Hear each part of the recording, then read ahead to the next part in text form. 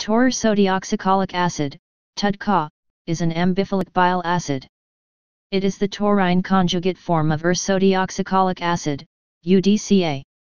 Humans are found to have trace amounts of TUDCA.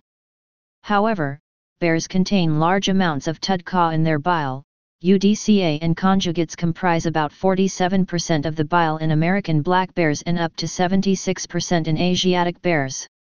TUDCA has been used in ancient Asian pharmacopoeias for its supposed beneficial effects.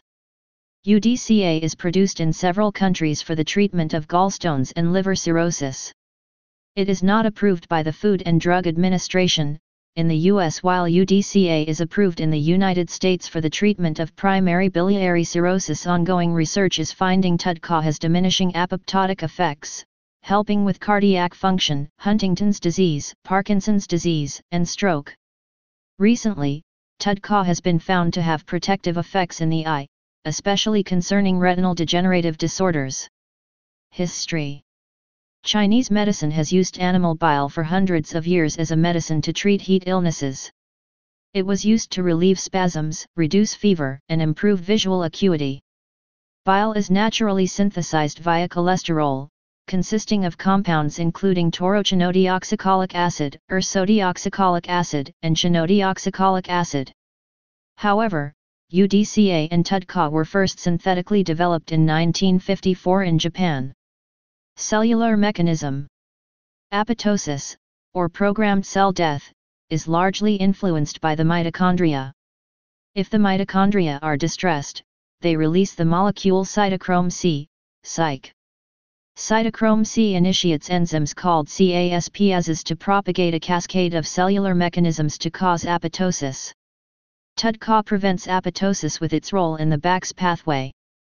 BAX, a molecule that is translocated to the mitochondria to release cytochrome C, initiates the cellular pathway of apoptosis. TUDCA prevents BAX from being transported to the mitochondria.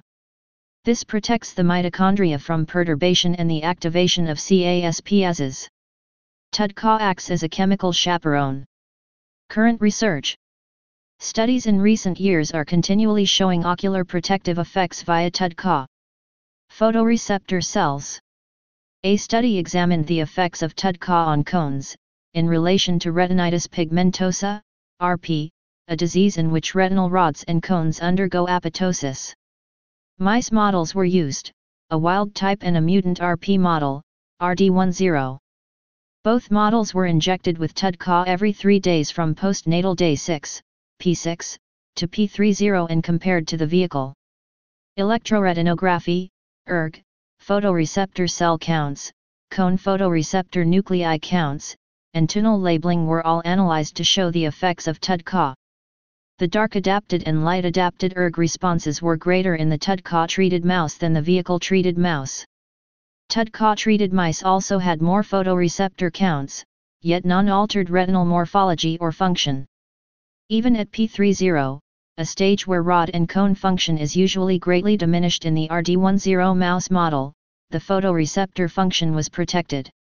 Another study, from the Department of Ophthalmology at Johns Hopkins University, in Baltimore, Maryland, saw similar effects in two components of bile, bilirubin, and TUDCA, in relation to RP. Oxidative stress and prolonged light exposure were studied in RD10 mice and albino mice. In RD10 mice, intraperitoneal injections of bilirubin or TUDCA were given every three days starting at P6. This caused a considerable preservation in cone cell amount and function at P50, and a modest rod cell amount at P30. In the albino mice models, intraperitoneal injections of bilirubin or TUDCA were given prior to prolonged light exposure. Both treatments had positive effects on the health of the mouse retina, including a reduced accumulation of superoxide radicals, rod cell death, and disruption of cone inner and outer segments. The findings of the study are elucidating optimized conditions for RP treatment. Choroidal neovascularization. A study done at the Department of Ophthalmology at Seoul National University College of Medicine examined the effects of TUDCA and UDCA on laser-treated choroids of rat models. Argon lasers were used to induce choroidal neovascularization, CNV, in rat models. TUDCA and UDCA were injected intraperitoneally 24 hours before and daily after the laser treatment. 14 days after laser treatment, the eyes were examined for effects. Fluorescein angiography showed lower leakage from the CNV in UDCA and TUDCA treated groups than the control group. Additionally, vascular endothelial growth factor, VEGF, levels in the retina were examined and showed lower levels in the TUDCA treated group compared to the control group, whereas no effect in the UDCA treated group. TUDCA and UDCA may suppress CNV formation, which may be associated with its anti-inflammatory effects. Synaptic connectivity A study from the Department of Physiology in University of Alicante, in Alicante, Spain, shows the effects of TUDCA in the P23H transgenic rat, a model of autosomal dominant retinitis pigmentosa.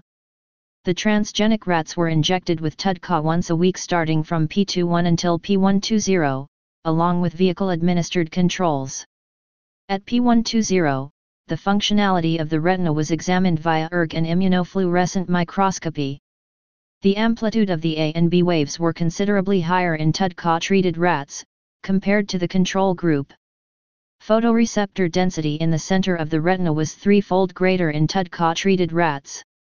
Also, TUNEL results showed smaller amounts of TUNEL-positive cells. The synaptic contacts amongst photoreceptor cells, bipolar cells, and horizontal cells were preserved in the TUDCA-treated P23H rats. Additionally, the synaptic terminals in the outer plexiform layer were of greater density than in control rats. The neuroprotective effects of TUDCA are not only preserving retinal morphology and function, but also its synaptic contacts, a potentially useful aspect in delaying RP. Please subscribe and thanks for watching.